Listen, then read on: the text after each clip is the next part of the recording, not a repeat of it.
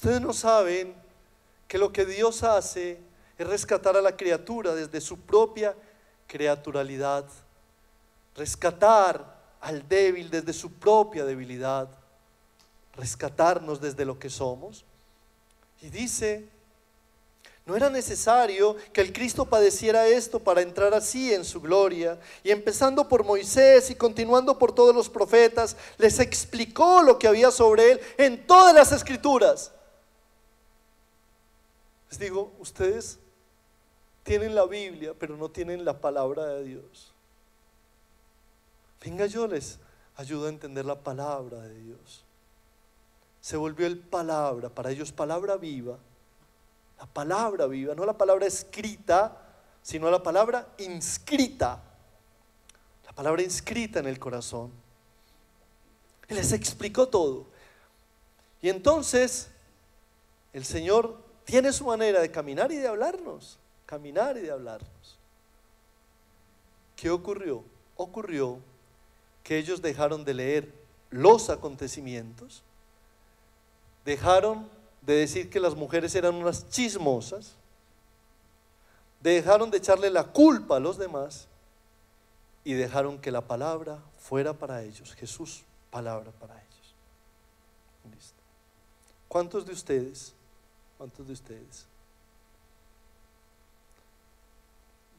no me vayan a mentir que yo sé leer la pupila de los ojos? a leer. Ahorita, ¿cuántos de ustedes han estado ahí sentados diciendo, ay, qué bueno que mi hijo hubiera escuchado al padre Luis Enrique? Ay, qué bueno que mi esposo no se hubiera quedado viendo el partido de fútbol y hubiera venido a escuchar esto que dijo. Ay, qué bueno que mi jefe oyera esta, esta conferencia. Digo Jesús, venga, Dejen a un lado a los sumos sacerdotes, a los que crucificaron, a eso. Dejen a un lado a las mujeres quietas. Dejen. Yo les voy a hablar a ustedes. A ustedes. Les voy a hablar de su historia, de su realidad, de sus dolores, de sus esperanzas o desesperanzas, de su situación. Les voy abrir la mente. Y entonces empezó a ser palabra de Dios. ¿Y cómo es palabra con poder? Yo no me puedo negar a esa palabra, a esa palabra. Muy bien. Toda esta primera parte que llevamos hasta este momento, hasta este momento, es lo que en la Eucaristía es la primera parte de la Eucaristía, que es la liturgia de la palabra. Llegamos caminando, como caminantes llegamos, y Jesús se encuentra con nosotros. Y llegamos llevándole un poco de reclamos de nuestra vida, de nuestros fracasos, de nuestra familia, del mundo, del presidente, de todo eso.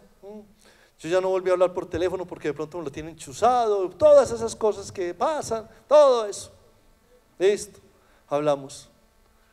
¿Y sabe qué nos dice el Señor? Venga, quédese calladito un ratico, sí. Venga, venga pues, que yo le voy a hablar y nos pronuncia una palabra. Y siempre tenemos la palabra del Antiguo Testamento, la palabra del Nuevo Testamento, el Evangelio, Jesús como palabra. Y después ustedes escuchan a los padres carmelitas de la iglesia de San José y se derriten todos ahí escuchando esa bella.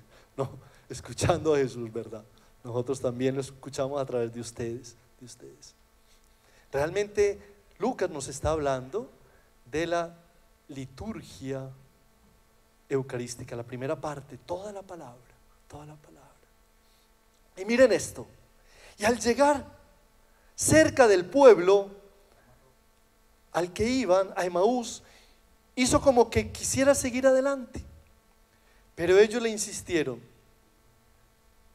escúchenme y escuchen a Jesús al llegar cerca del pueblo al que iban, hizo como que quisiera seguir adelante, pero ellos le insistieron, quédate con nosotros, que la tarde está cayendo y termina el día.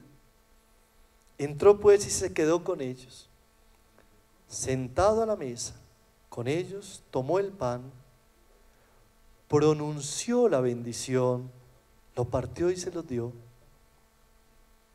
Entonces se les abrieron los ojos y le reconocieron, pero él desapareció de su vista. Se dijeron uno al otro, ¿no estaba ardiendo nuestro corazón dentro de nosotros cuando nos hablaba en el camino y nos explicaba las escrituras? Esto que les acabo de leer, esto que les acabo de leer, palabra de Dios, él hizo ademán de seguir. Ellos le dijeron, quédate con nosotros. Entró, se sentó a la mesa, tomó el pan, pronunció la bendición, lo partió, se los dio. Se les abrieron los ojos y se dieron cuenta que su corazón ardía por ese amor resucitado.